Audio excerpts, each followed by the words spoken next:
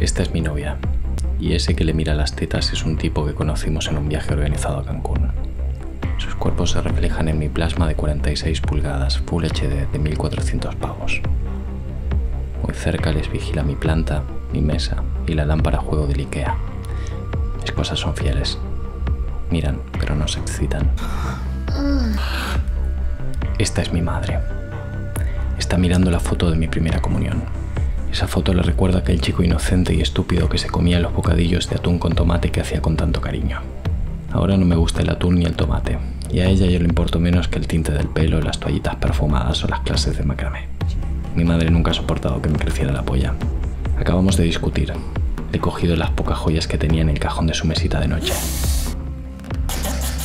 Este tipo es el que me firmó el tercer crédito de 10.000 euros que pedí para pagar el segundo crédito de 6.000.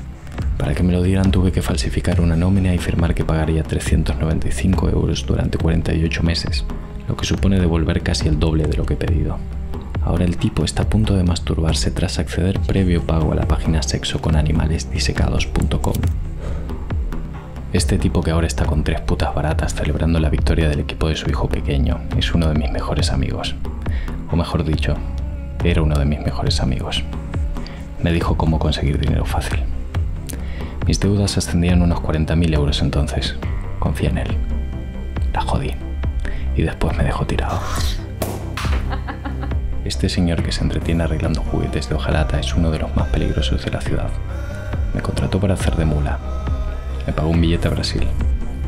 Estuve una semana en un hotel de 5 estrellas y a la vuelta me llenaron la maleta con droga. Pasé el control de seguridad del aeropuerto sin problemas. Llegué a casa, saqué la droga y la metí en una mochila verde del gimnasio. Cogí el metro para hacer la entrega y cobrar los 15.000 euros que me prometieron. Al salir me dejé la mochila en el vagón. Y mi vida se fue al carajo a la misma velocidad que desaparecía aquel tren de mi vista. Este tipo con pinta de rockstar venido a menos es el que han enviado para recuperar la mercancía. Dicen que le arrancó los ojos a un tipo con los dedos de los pies mientras sorbía un batido de chocolate con canela. Ese tipo que aporrea la batería como si fuera un felpudo barato jugaba conmigo en los alevines de la Alzamora. Sabía que tenía una pistola. Le pedí amablemente que me la prestara. Me dijo que no. Y le hice una oferta que no pudo rechazar. Este soy yo. Acabo de reventarle los sesos a Lenny Kravitz.